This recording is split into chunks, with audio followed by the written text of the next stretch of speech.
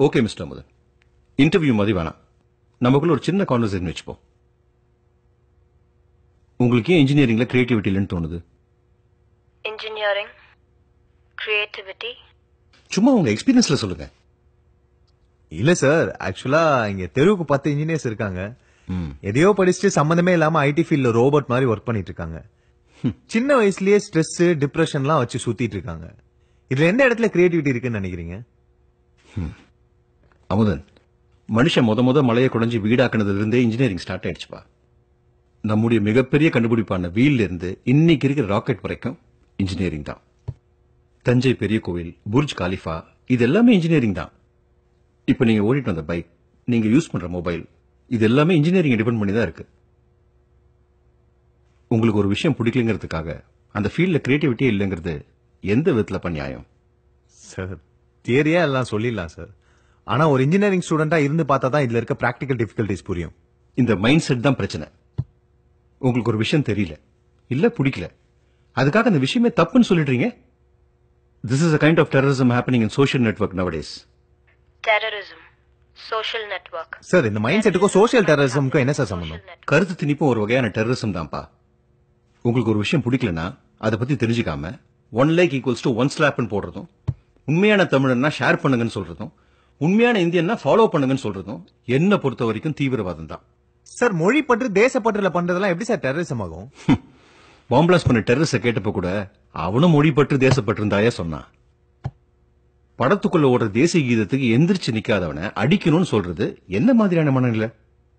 Sir தேசிய கீதம் ஒன்னா எந்திரிச்சு நிக்கணும்ன்றது காமன் பிஹேவியர் அது படத்துக்குள்ள ஒன்னா வெளியே ஒன்னா என்ன? எப்படி எப்படி?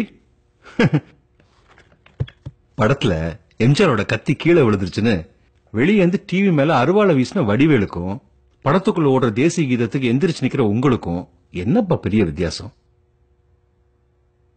எல்லா விஷயத்துக்கும் ஒரு கோணம் மட்டும்தான் இருக்க முடியுங்கிற நினைப்ப முதல்ல மாத்தீங்க. ம். அந்த போட்டோ பாருங்க. இது நைன்டீன் நைன்டி த்ரீல சூடான்ல எடுக்கப்பட்ட ஒரு ஃபேமஸான photograph 1993, Sudan three Sudan famous Carter, Eagle with the Girl, gets the Pulitzer Award. இந்த போட்டோகிராஃப் வந்து 1994. ஃபேமஸ் போட்டோகிராஃபர் கெவின் கார்டர்ன்றவர் எடுத்திருக்காரு. நைன்டீன் நைன்டி ஃபோர்ல இந்த போட்டோகிராஃப்க்கு புலிச்சர் பிரைஸ் ஒன்னு வாங்கியிருக்காரு சார் ஆனா இந்த போட்டோகிராஃப் நான் கொஞ்சம் பேசிக்கிறேன்.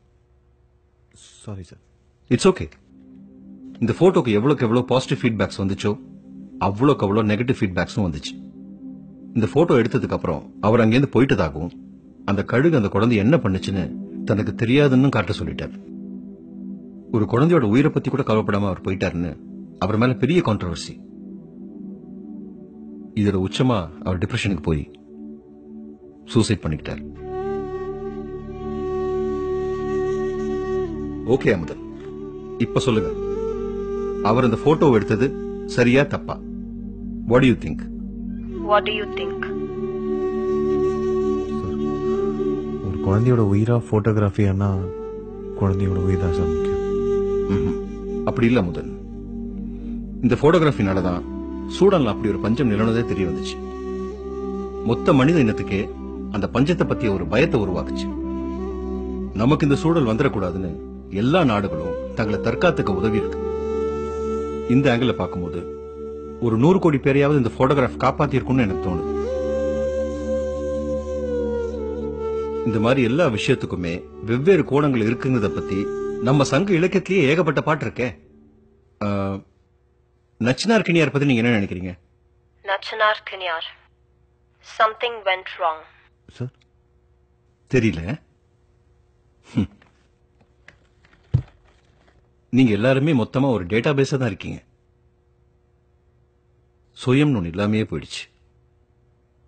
ம் இத பாருங்க முதன். இது ரொம்ப சின்ன ஆபீஸ்பா வெறும் எட்டாயிரம் தான் சம்பளம். ஆனா இங்க வேலை செய்யற ஒவ்வொருத்தருக்கும் சுயம்னு ஒன்னு இருக்கணும்னு ஆசைப்படுறேன்.